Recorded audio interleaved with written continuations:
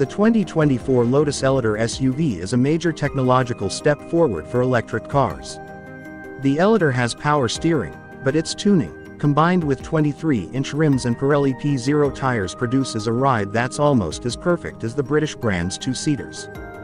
The electric power steering motor is mounted on the steering rack, giving a more natural feel and the steering ratio is also fast, requiring only 2.5 turns from lock to lock. Effectively shrinking the car at slow speeds in parking lots and extending it when changing lanes at high speed for extra stability. The Lotus Eletre has a range of 304 miles in the European test cycle. With an 800-volt electrical system, this SUV can charge 10 to 80% in 20 minutes with a DC fast charger.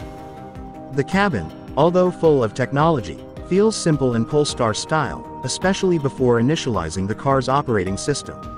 Stiff, leather-wrapped, bucket-style seats hug the driver before the central infotainment screen and two flanking screens light up.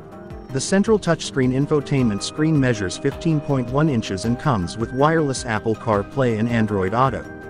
Eletre is equipped with 5G Wi-Fi, is over-the-air capable and has voice assistant technology.